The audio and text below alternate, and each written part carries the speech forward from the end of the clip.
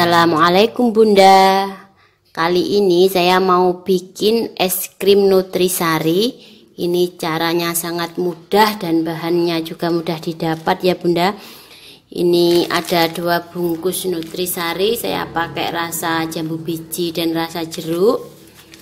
Terus dua sendok makan tepung maizena. 170 gram gula pasir 700 ml air 2 bungkus SKM terus nanti saya tambahkan SP atau sepong 1 sendok teh ini cup untuk wadahnya nanti. Ini langkah pertama saya mau merebus gula pasir sama air 700 ml dan SKM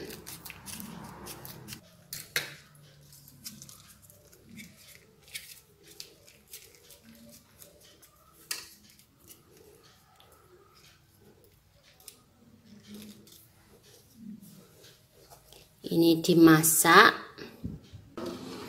Ini saya masak di sini saya nyalakan api. Ini dimasak sampai mendidih ya bunda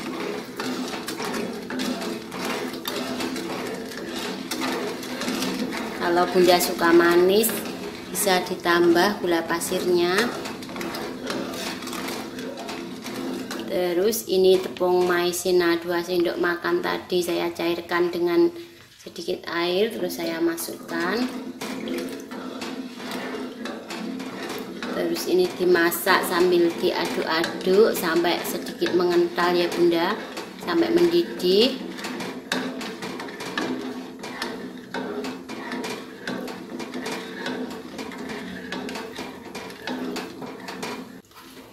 ini udah mulai mengental. Ditunggu sampai mendidih. Ini ngarep nyungin kunci. Ini udah benar-benar mendidih ya bunda seperti ini. Punya motor apa nggak motor terus ini saya matikan ini saya pindahkan ke dalam wadah yang lebih besar.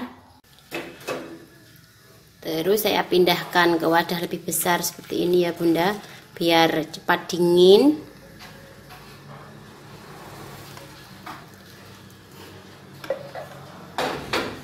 Terus ini saya biarkan dingin dulu baru saya masukkan ke freezer sekitar kurang lebih 4-5 jam Nah ini bunda hasil adonan es krimnya tadi.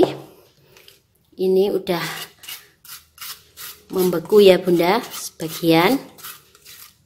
Ini aku kulkas selama 4 jam bunda. Terus ini mau saya pindahkan ke wadah lebih besar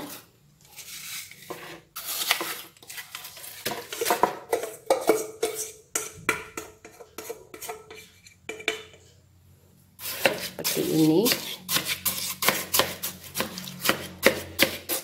Ini sudah mengeras. Terus ini mau saya tambahkan satu sendok teh SP segini.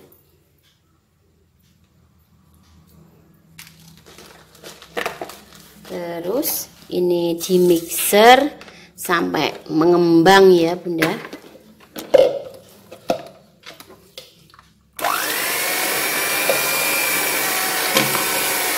Sementara dengan cepet rendah terlebih dulu terus saya lanjutkan dengan cepet tinggi. Ini di mixer sampai ringan sampai mengembang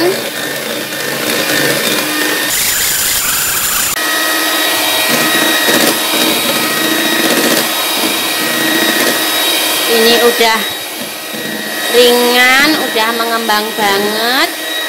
Terus saya matikan. Udah kental ya bunda.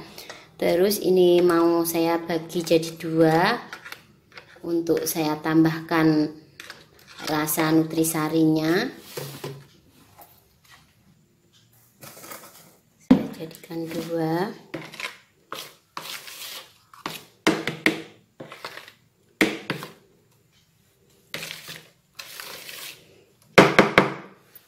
terus ini yang satunya mau saya kasih pewarna kuning dan rasa nutrisari rasa jeruk. Seperti ini ya bunda. Nutrisarinya dimasukkan. Biar tambah cantik saya tambahkan sedikit pewarna makanan terus ini di mixer lagi.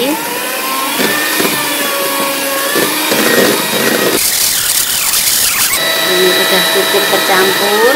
Terus saya matikan seperti ini. Terus terus ini yang satunya aku tambahkan rasa jambu bijinya nutrisari jambu biji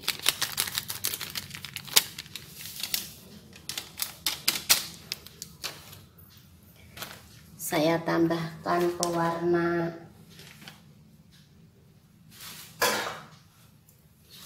Merah.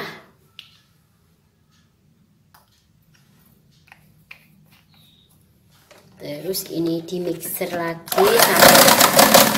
Terus nggak pas bunda. Di mixer sampai tercampur semua nutrisarinya sudah benar-benar tercampur terus saya matikan.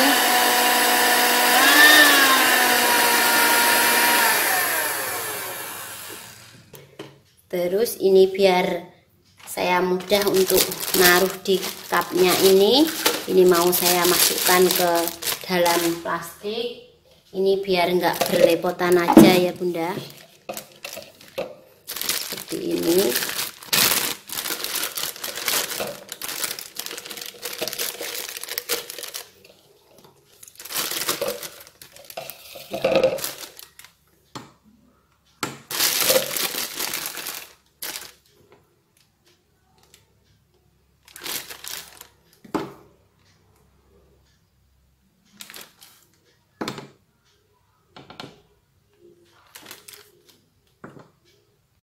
ini yang rasa jeruk juga saya masukkan ke kantong plastik.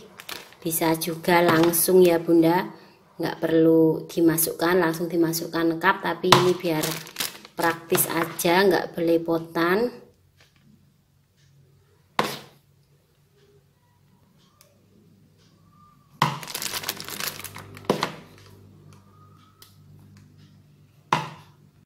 ini udah cukup saya masukkan ke kantong plastiknya. Aku sisihkan dulu terus saya mau menata cupnya terlebih dulu. Ini saya pakai gelas agar ya bunda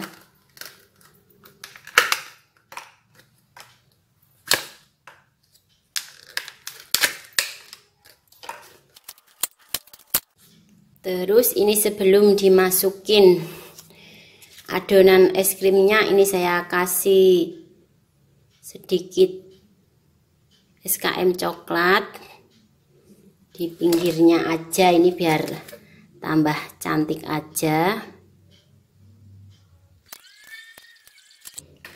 Seperti ini ya bunda caranya. Ini saya kasih lubang di pojok plastiknya seperti ini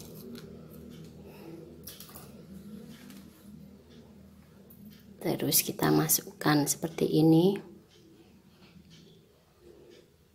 Ini saya pakai yang satu warna aja.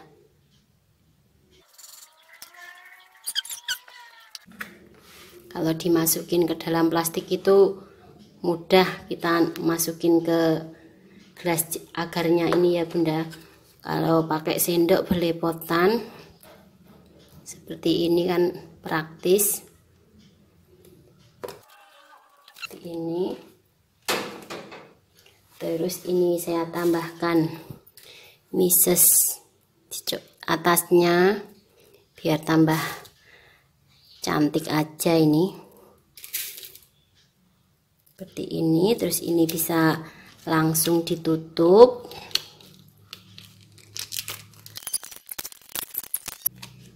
Seperti ini ya bunda. Cantik. Seperti ini terus untuk yang warna kuningnya juga aku tambahkan coklat. Ini yang rasa jeruk ya bunda. Lubangi juga di pojoknya. Terus saya tuang seperti ini juga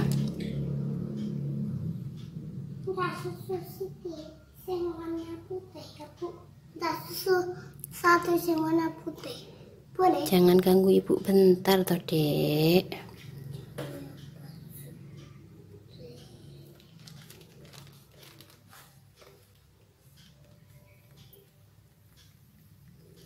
Caranya tetap sama seperti ini ya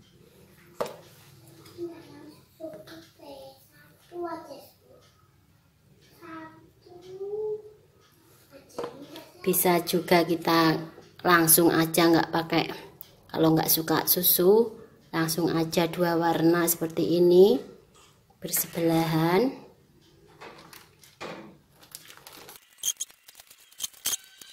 Nah seperti ini ya bunda cara masukannya sangat mudah. Ini dijual juga untungnya banyak sekali bunda ini ya cara masukinnya terus ini bisa bisa juga nggak dikasih mises.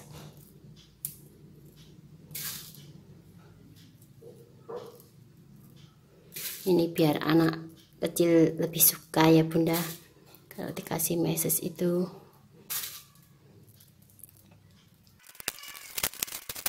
Seterusnya seperti ini ya bunda cara masukkan ke dalam gelas agarnya